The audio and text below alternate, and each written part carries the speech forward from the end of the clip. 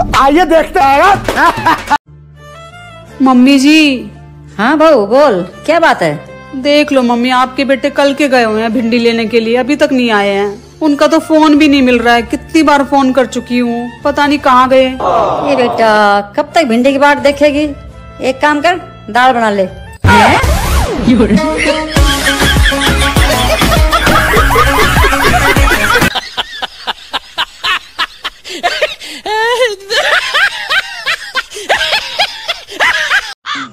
बहू।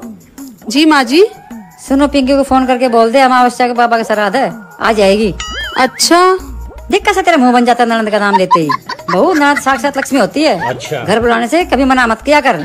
उसे घर आने से सुख समृद्धि आती है। पता है तुझे जितना प्यार तू ननद से करेगी ना उतना ही तेरे और तेरे पति की तरक्की होगी। अच्छा। अब ऐसा कर फ़ोन कर दे उसको और बुला ले। ठीक है माँ जी। हेलो।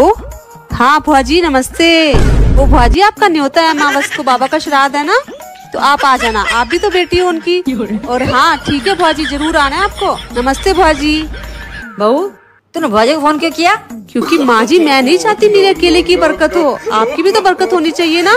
इसलिए मैंने आपकी भी लक्ष्मी जी को बुला लिया है।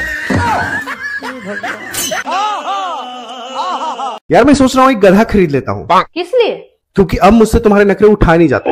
इसमें गधा खरीदने की क्या ज़रूरत है? मैं तो शादी ही गधे से की हूँ।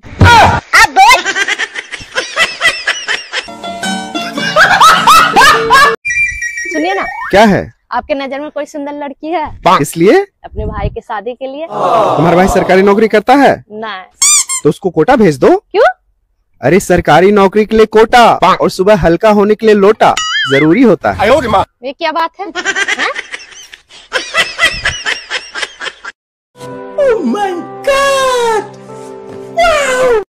अच्छा एक बात बताओ अपनी शादी को पाँच साल हो गए क्या आज भी तुम मुझे पहले की तरह प्यार करती हो? हम आपसे प्यार ही कब किए थे?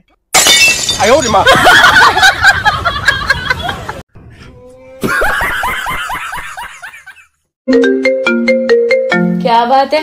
आजकल बड़े फ़ोन आ रहे हैं तुम्हें लड़कियों के। अब किस चुड़ैल का फ़ोन है?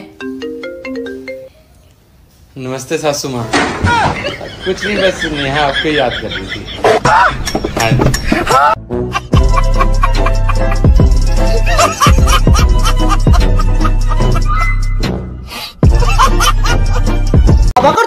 हो तो सब्सक्राइब करो। वो जो लाल वाला बटन है, उसके साथ स्कैम करो या फिर महफिल जमाओ। मुझे नहीं पता, बस क्लिक हो जाना चाहिए। अब मैं भी जा रहा हूँ, मुझे पार्क में स्टंट्स मारने जाना है।